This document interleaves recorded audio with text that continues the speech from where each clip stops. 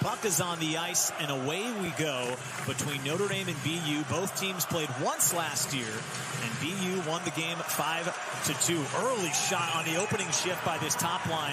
Luke Tuch got one in on Bischel, was loose for a moment, and the Irish recover and bring it back the other way. Freshman Henry Nelson sends one on Caron, did not glove it cleanly. McCarthy has to pick it up, taken away that time by Cole Knuble.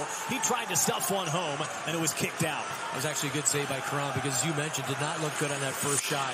Kind of muffed it with his glove. But down to the other end, it was the Fighting Irish. There's the muffed opportunity by Caron. Didn't catch it cleanly, and the steal by Knuble. Well, that's kind of a lazy play by McCarthy. Had his pocket picked the captain. It might have been going wide, but still, the left pad is fended off. Also 56% on faceoffs for the freshmen. Notre Dame has two freshmen centering their top lines.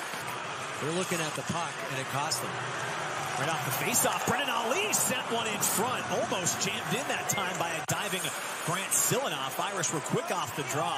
Here's Hutson, reigning first-team All-American. Across for a one-timer that time from Devin Kaplan. Ricocheted wide, and Celebrini is there again. Back for Hutson. Celebrini, one-timer. Bischel comes across. Now the puck is settled below the goal line by Slaggert. Sends it over to Maddox Fleming, freshman for Notre Dame. Out high for Bavaro. Nelson across for Fleming. Has his head up, back for Bavaro. Walks his way to the top of the slot, and he scores! This game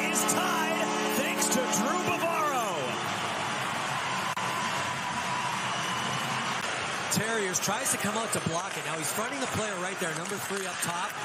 And watch him try to block it here. Maybe screens the goalie, possibly even putting up a piece And that puck gets through. Watch the shot. And I don't think that Caron saw it until the very last second. Look at the bodies. There's literally five guys in front of him. Best American-born college hockey player. First time a freshman did that since 1987 as Siedem works his way down below the line. Centers one for Slaggert, and he scores!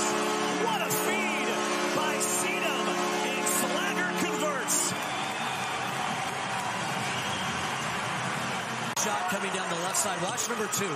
And what he does is he sells he's going behind the net. He'll get this puck. He walks in.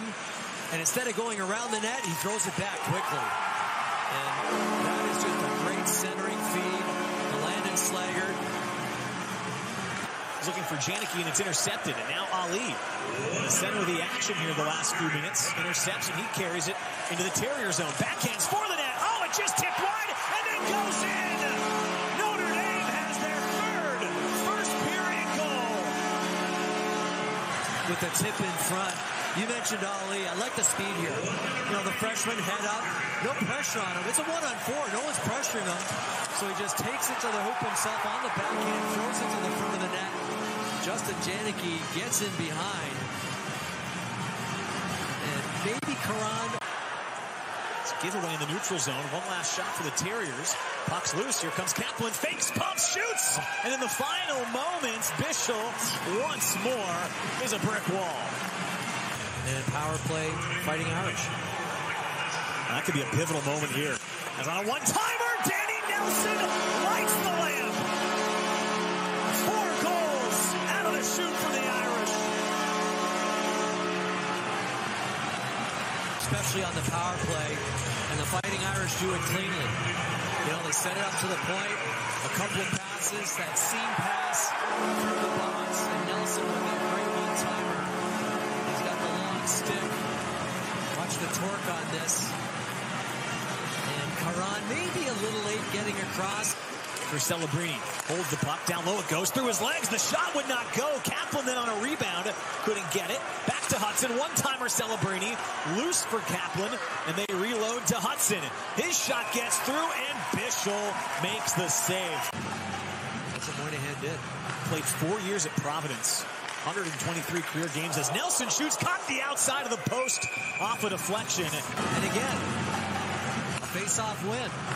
And watch Nelson. He spots 19 in front and just a little redirection off the post. See if you can see it from this angle. Watch Slaggert. Yeah.